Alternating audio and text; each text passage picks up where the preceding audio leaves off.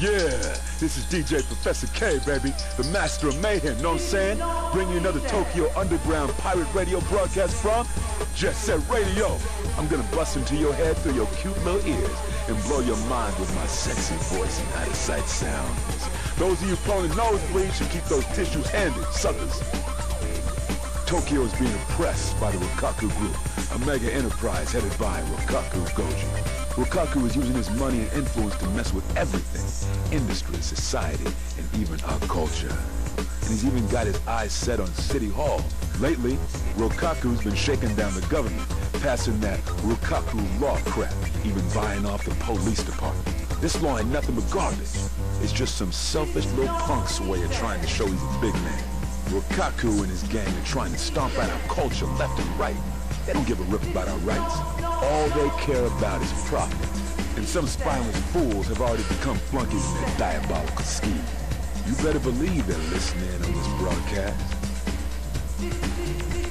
But even in all this heat, there's a group of young kids who tear up the streets. I'm talking about the Rudies. These kids have set out to bury Tokyo in defeat. And now they're all wrapped up in their own little territorial tug-of-war.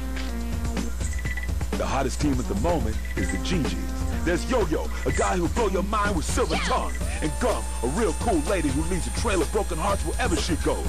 And let's not forget their leader, a self-styled genius that goes by the name of Corn. These three in your garden variety street punk. Know what I'm saying? Lately, Tokyo's been on one bad trip. The attack on the record store on Chuo Street, prowlers in Dogenzaka Hill, lowlifes spreading vicious rumors, the mysterious blackout on 99th Street.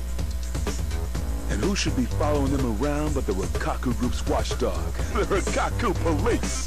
With the Rokkaku Expo just around the corner, the crackdowns are only getting tighter.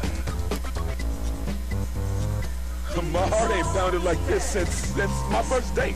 I was so nervous, know what I'm saying? I forgot to wear my underwear, baby. This ain't the time to be sitting around sipping afternoon tea. Game's gonna start soon, and y'all gonna be the one making the plays.